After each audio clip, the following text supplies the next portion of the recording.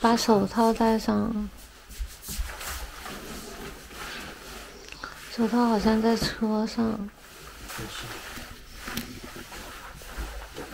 那我去了，我继续车里。嗯。再说。嗯，拜拜。我们住的民宿的主人，因为这里的日出很美，所以从鹿儿岛搬家过来，从日本最南端搬到了最北边。我也想看看这里的日出到底有多迷人。天气预报显示凌晨是阴天，无法看到日出。但是我不甘心，依旧三点钟起床，开车五分钟到了海边的停车场，想要试一下运气。老天没有辜负我的执着，虽然海平面有很多云，但我还是成功的拍到了美丽的日出。好冷啊！我的车停在这里了，现在看一下我的位置。太阳马上就出来了。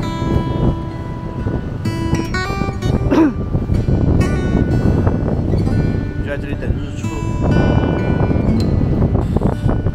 然后没有三脚架的，只有把这个放在这个墩柱子上面，刚好有个柱子还挺好的，稍微需要调整一下角度。像这样的画面。运气比较好，昨天天气预报说完全是云，现在好像稍微比完全是云要好一点点，但不知道能不能看到太阳。现在是几点？看一下。现在是三点半，还有十多分钟太阳出来。太阳出来了，而且能看到，能拍到。今天这个早起没有白费，没有辜负我，太漂亮了。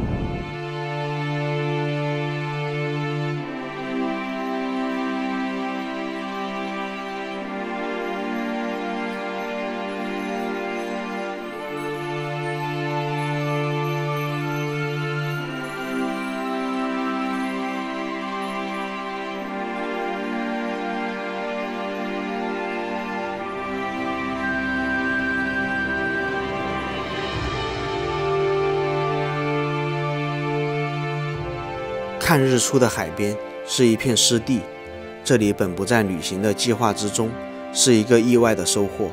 看完野生棕熊之后，我们就开始了漫无目的的行程。比起按部就班的旅程，我更喜欢充满未知，可能在旅途中遇到一处隐秘的宝藏。意外惊喜是旅途中的一大魅力所在，可能是一幅迷人的风景，与当地人有趣的交流，也可能是与新朋友的邂逅。那些出乎意料的瞬间和景色，往往是最美好的回忆，使旅行更加丰富且难忘。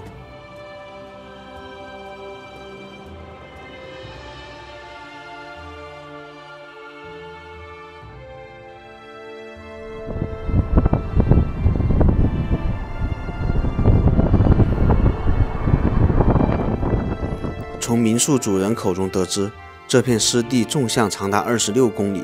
超过二百六十种珍贵的鸟类在此栖息。五月到十月，这里还是一片美丽的原生花园，各种花儿相替开放。这片湿地正在以每年五厘米的速度下沉，涨潮时海水会侵入湿地，树木被海水侵蚀，造成一片白骨枯木立于湿地的奇特景观。这片海与湿地交错的区域，还生活着鹿、海豹、虎头海雕。和白尾海雕等珍稀野生动物。